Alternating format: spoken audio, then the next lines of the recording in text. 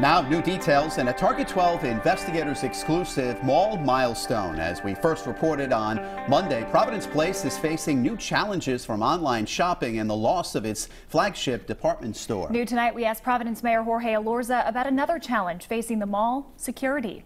Target 12 investigator Ted Nesi joins us now with those details.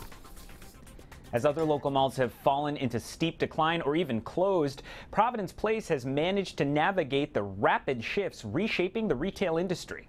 Believe it or not, it's now been 20 years since Providence Place opened its doors. Despite major changes like the closure of Nordstrom, the mall's occupancy remains strong, with 97% of its space currently leased. Yet online shopping is clearly having an effect. Data reviewed by Target 12 shows annual sales tax revenue at Providence Place has fallen from over $14 million in 2012 to a little more than $12 million today. They're a landlord. It's their job to go out and get tenants, and I'm sure that you know they're doing what they can. Mayor Jorge Elorza says the mall remains vital vital to Providence, which is one reason city leaders coordinate closely with mall security. Anytime, eh, you know, especially today, anytime that you know, there's a, there's a large gathering, you worry about, you know, what could potentially happen. Providence Place's image has already been hurt by high-profile incidents like this January 2018 shooting in the garage. Shoppers were forced to evacuate. It's a really small number of like public safety events that occur.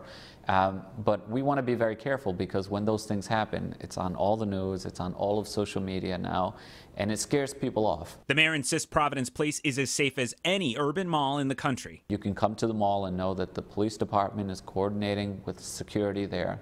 You know, we have a constant presence, and it's a safe place to be. Providence Place executives declined my request for an interview, but said in a statement they continue to add new stores and expand popular ones in an effort to stay competitive. With the Target 12 investigators, Ted Nesi, Eyewitness News.